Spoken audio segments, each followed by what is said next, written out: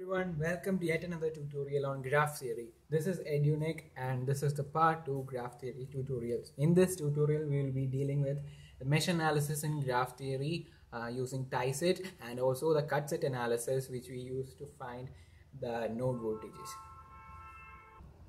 Now for obtaining the mesh analysis equation in graph theory, we would consider the same diagram that we took for the other derivation but with a small difference. Here we are considering the branch impedance uh, instead of branch admittance.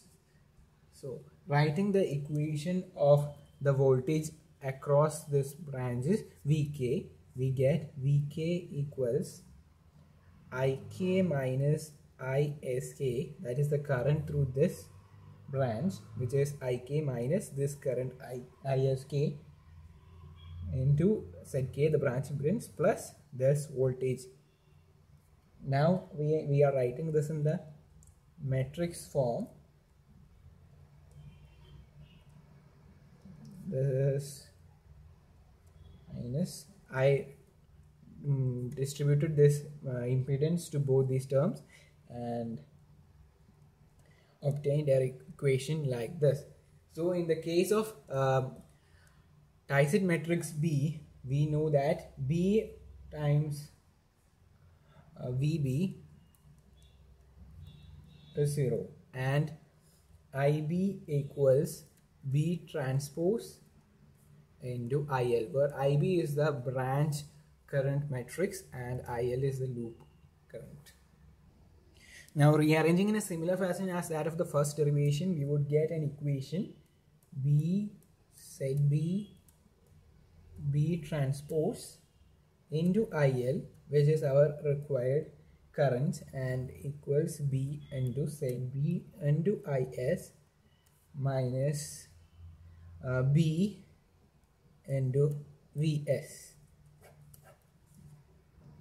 Now comparing with the other equation that we solved, we can see that there is only some minor differences. So you can uh, remember, memorize these two equations easily. That is a is replaced by b and yb is replaced by zb and also vs and is are interchanged. So for solving problems you only need to memorize these equations. Now let's solve a problem with this equation.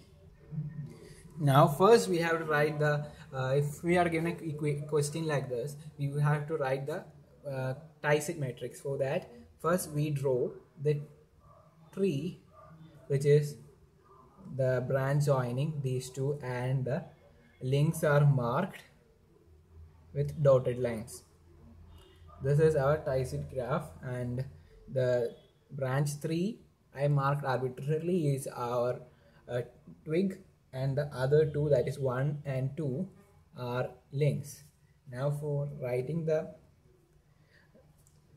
um, tie-set matrix we can first consider the first loop that is the loop uh, with the uh, link 1 and for 1 we we put direction that is plus 1 and going through this we see that 3 is in the same direction as 1 so we put positive sign. As 2 is not in this loop we put 0 now for the loop 2 2 is always uh, 1 for the loop 2 and 3 is opposite that is minus 1 and 1 is 0 this is our B matrix that is tie-set matrix. Now the transpose is 1 0 1 0 1 minus 1.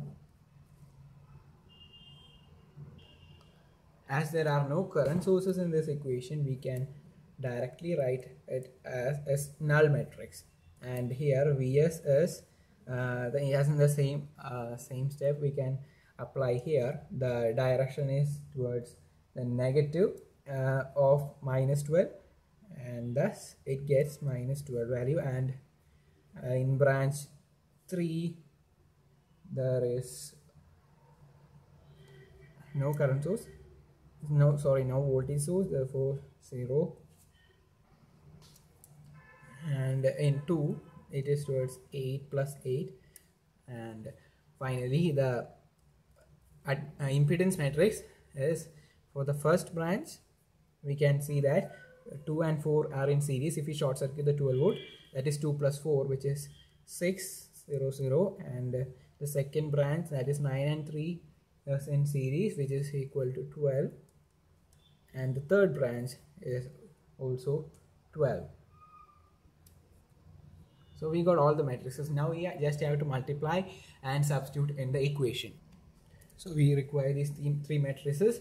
And uh, multiplying this we would get matrix 6 0 12 0 12 minus 12 this is simple matrix multiplication.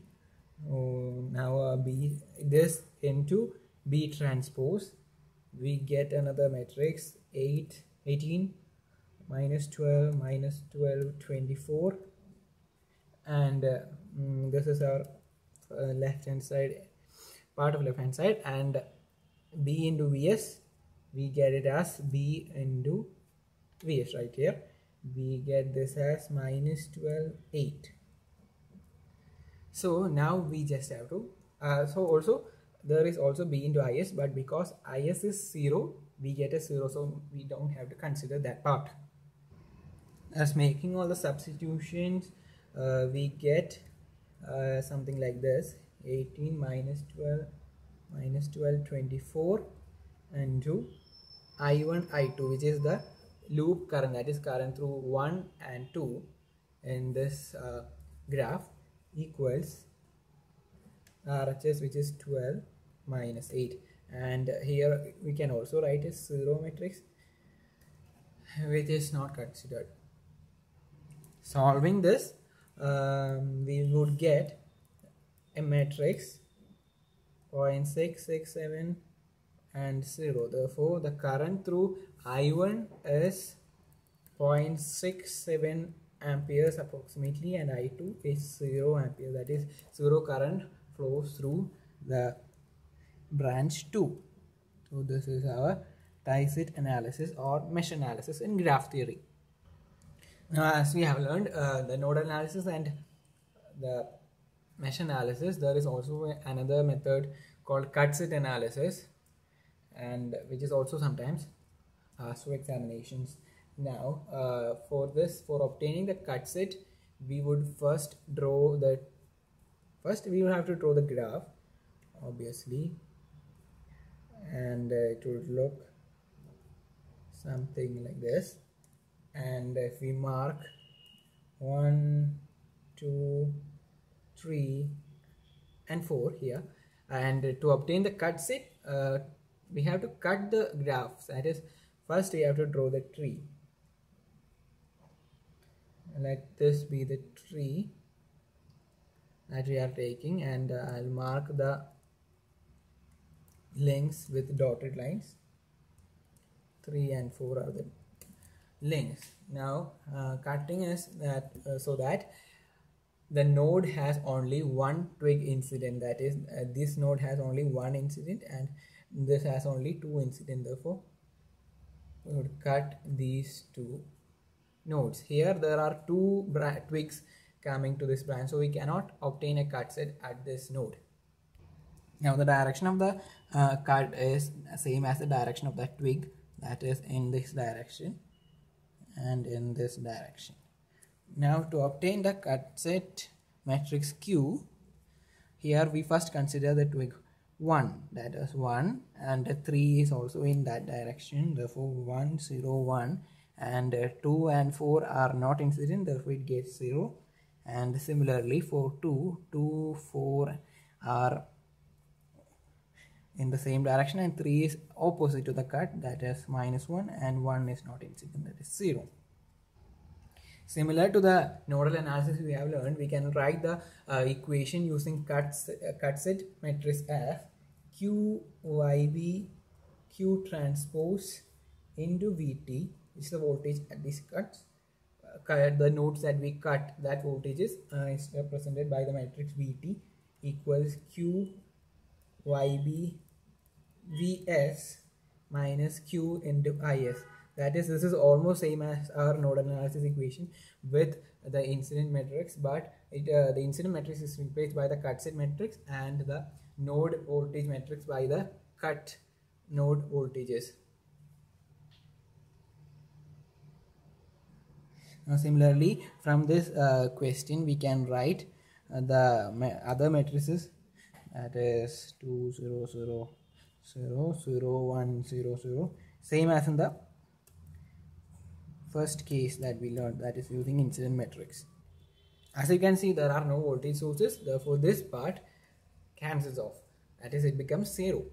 Now uh, multiplying and uh, substituting in this uh, so we get equation like this uh, where this part is this matrix and the q into is minus q into is is 5 0 now so solving we get vt1 equals uh, 1.8 volt and vt2 equals 0.455 volts.